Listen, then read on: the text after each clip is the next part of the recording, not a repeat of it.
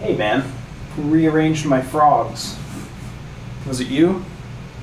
Did you rearrange my frogs? It's probably him. Alright. Welcome back to Thick Riff Thursday. Today I'm writing a riff only using stock Logic plugins. And I know what you're thinking. Nick, stock Logic plugins are I was gonna say they're bad, but they're they're actually not. Logic actually has really good stock plugins. I started building something the other day. I dialed in a rhythm guitar tone, a clean guitar tone, and a lead tone, and a bass tone. And I got some pretty good drums out of just Logic's drum library.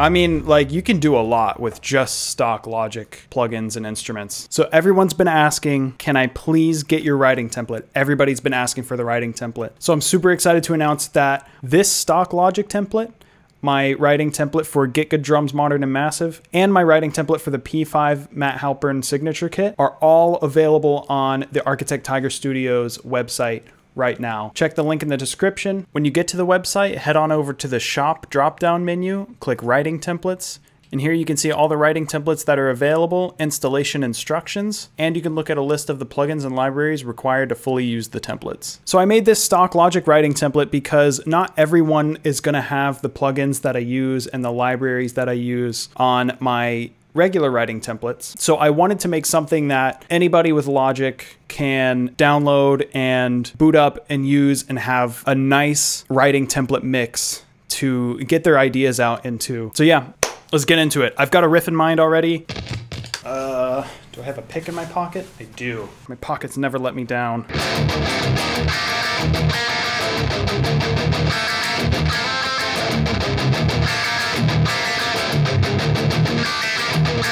So that's the. Jesus, that's the guitar tone I dialed in. I've got some pedals. I've got Logic's amp modeler, got some EQ, and then I've got a noise gate on the end of it. The clean tone.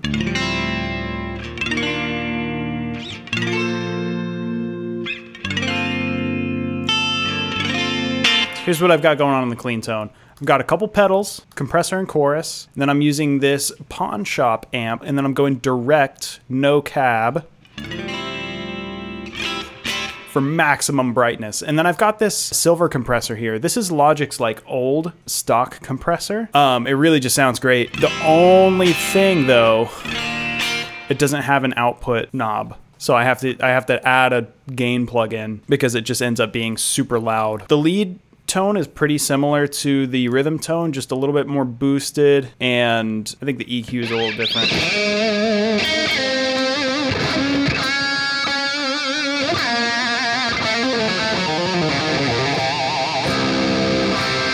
And then it's got some delay, obviously, on it. The bass tone. The bass tone took the most work out of all these tones.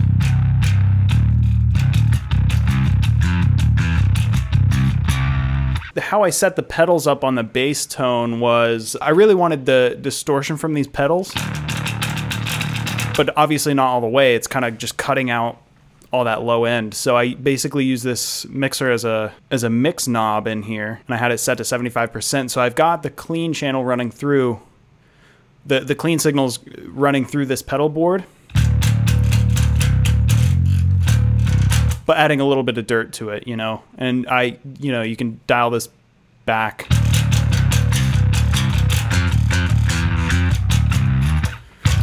As as uh, as needed. And yeah, here's the here's what the bass amp looks like.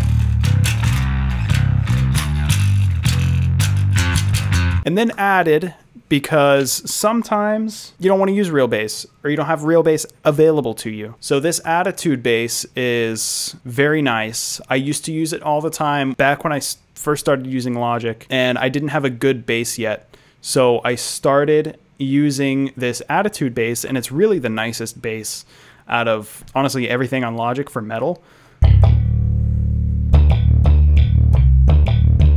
This sounds really good. I haven't really dialed it in yet. I'm going to dial that in in this video, but really like that's a that's a pretty good sounding programmed bass. Okay, the riff I had in mind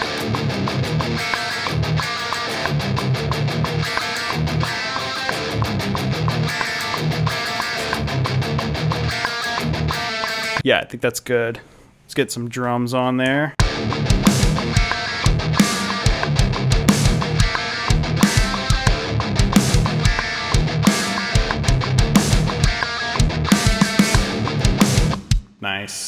Add the cymbals in there.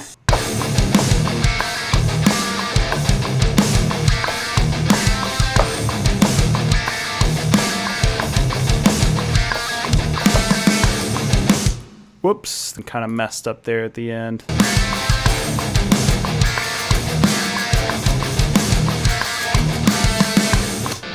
That's cool. That's a cool riff, actually. Kind of monumentsy, although my down picking technique is nowhere near John Browne's. You know what? I'm feeling like this snare is a little bit like scooped.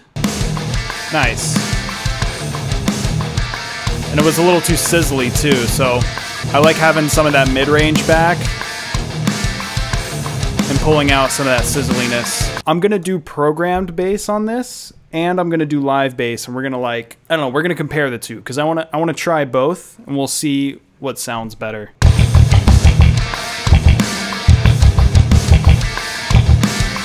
Okay, I just messed up the last two notes.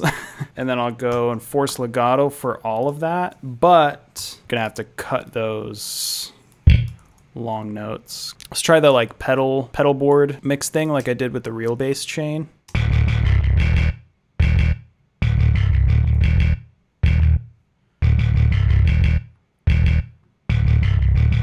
Yeah, it just adds, I feel like it adds just the right amount of dirt.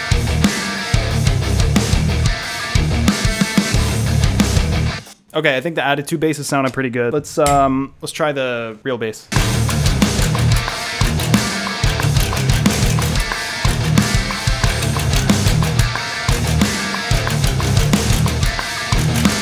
That was a pretty good take. Yeah, that's really annoying right there.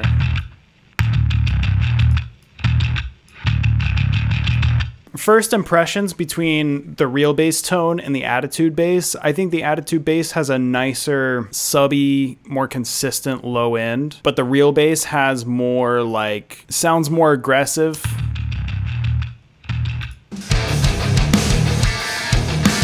Yeah, I think we're just losing some of that like low, low end in the real bass. Like some of some of this down here. I don't think I really want to boost it, but well, maybe a little bit. I actually think I prefer the real bass. Honestly, they're pretty close. They're pretty close. I like them both. I think they both sound really good. I think at least for now, I, I prefer the real bass, but really the programmed bass option is is not bad to have if you don't have a real bass. Okay, I wanted to come up with like a chorusy riff.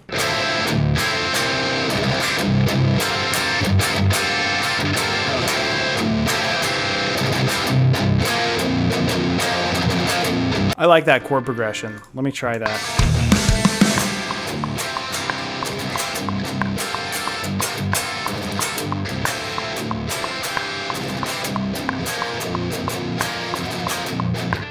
I don't want to do that rhythm at the end. Yeah, I wanted to like slow down a little bit there.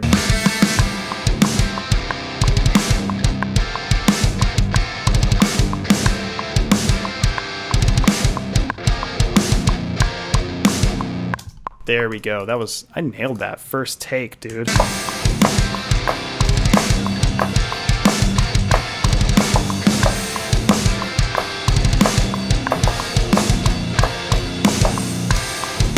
Ooh, the modern dark ride sounds good.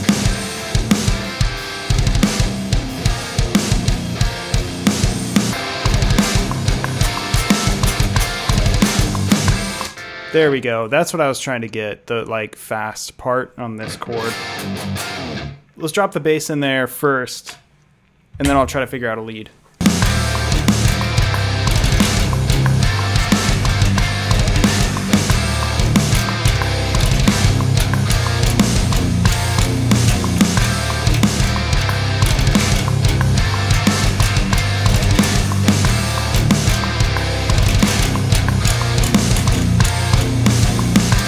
There we go. I'm I'm thinking maybe like something constant, like a do do do do do do do do do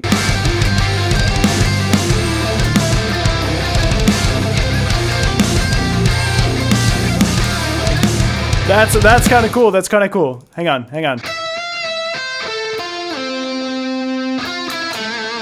That would be a cool way to turn it around. Let's try it.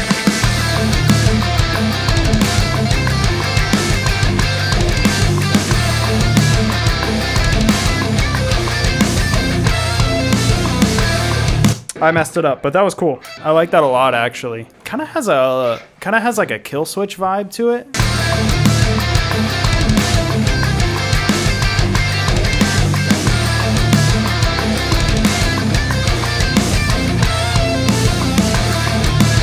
Yeah. I just need to get that last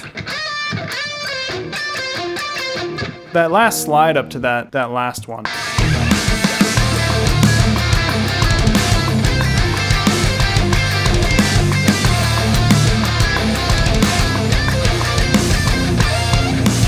That was it. That was it. I got the slide. Let's put a drum fill at the end of this. Double on the kick.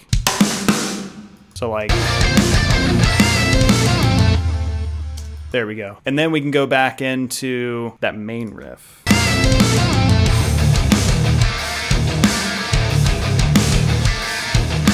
Maybe to like end it, just to just to have a nice ending on it, we could go hi-hat, flam on the snare, kick, and then double tom. Yeah, I think maybe the guitar riff could play on its own for the first few bars as like a little intro.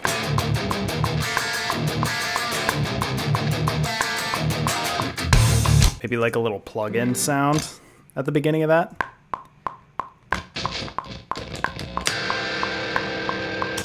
Oh, you know how I like that kind of. So it's like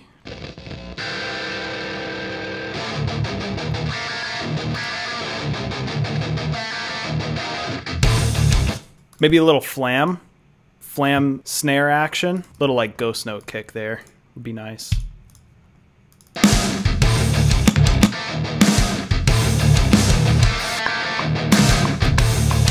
Nice. It's kind of punk. It's kind of punk rock. Dude, we have a riff. We have a riff. That's a riff. Awesome, man. I think this stock logic writing template is pretty dialed in at this point. All right, let's do a final listen through. Thank you.